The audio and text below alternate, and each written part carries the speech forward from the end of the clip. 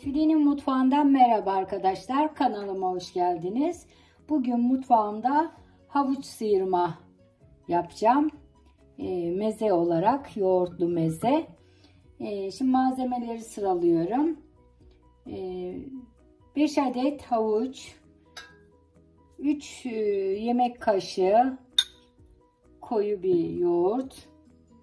Yoğurdun içerisine ilave etmek için kekik, nane, tuz, sarımsak, 3 diş sarımsak ve havuçları sotelemek için de şöyle yarım çay bardağı kadar zeytinyağı. Şimdi havuçları sıyırma işlemine başlıyorum. Havuçların şöyle uç kısımlarını biraz alıyorum ve sıyırma işlemine başlıyorum. Normal şöyle e, soyma aletiyle sıyırıyorum. İnce ince kabuklarıyla beraber sıyırıyorum. Böyle kıvır kıvır incecik soyulacak.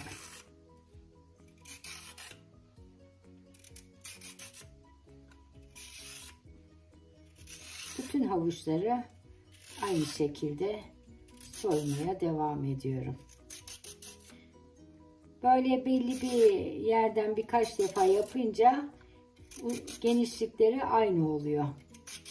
Değilse kimisi ince, kimisi dar böyle şeritler halinde sıyrılıyor.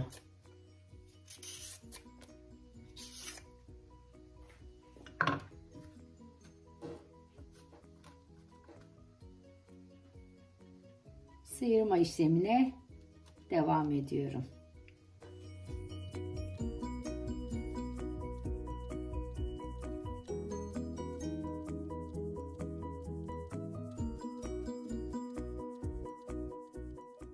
Sıyrılıp şöyle ince kalan yerleri de tehlike yaratmaması için şöyle bıçakla ince jülyen bir şekilde inceltiyorum.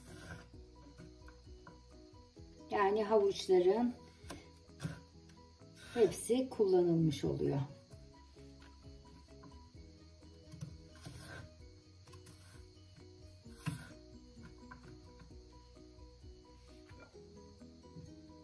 Aynı şekilde şöyle kalın yerlerini şöyle sıyırmaya devam ediyorum. Çünkü bu alette biraz dikkatli olmak lazım tehlike yaratmamak lazım. Son havucu da sıyırıyorum bu şekilde. Daha sonra tavada soteleme işlemine geçeceğim.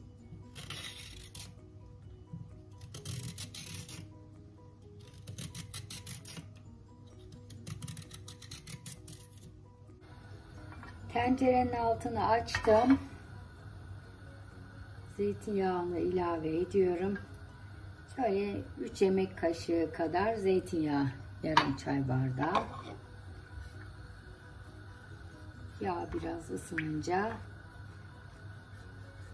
sıyırdığım havuçları da ilave edeceğim.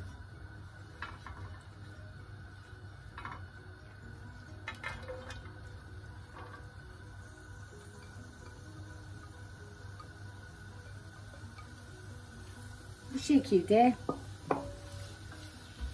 havuçlar sotelenecek. Kapak kapatmıyorum. Ara sıra karıştıracağım. Havuçlar karıştırarak sotelenmeye devam ediyor.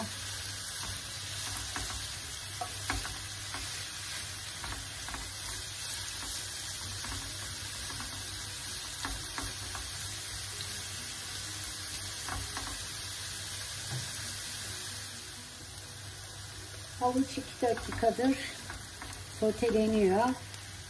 Şimdi üzerine biraz tuz ekleyeceğim. Tuz miktarı isteğe bağlı değişebilir. Şöyle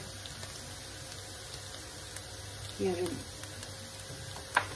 çay kaşığı kadar bir tuz ilave ettim. Biraz daha havuçları yumuşaması için sotelenmeye devam edecek. Havuç yaklaşık 4 e, dakikadır soteleniyor. Bayağı yumuşak oldu. Şimdi ocağın altını kapatıyorum. Bu şekilde soğumasını bekleyeceğim. Yoğurdun içerisine 3 diş sarımsak, bir e, çay kaşığı nane, bir çay kaşığı kekik ilave ettiğim yoğurdumuz hazır. Şimdi havuçlarımızı sunum tabağına alıyorum.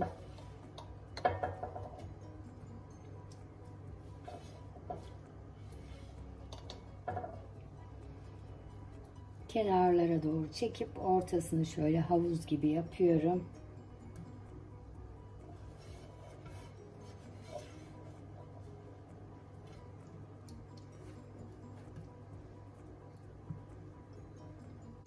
Şimdi sosa biraz da tuz ilave ediyorum.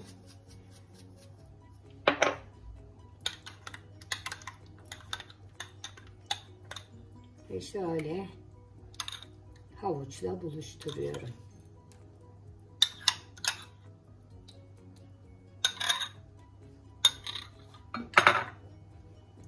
En pratiğinden bayram sofralarını süsleyecek bir meze, salata neden derseniz soğuk yenebilecek lezzetli bir havuç sıyırma. Evet havuç sıyırmamız bu şekilde.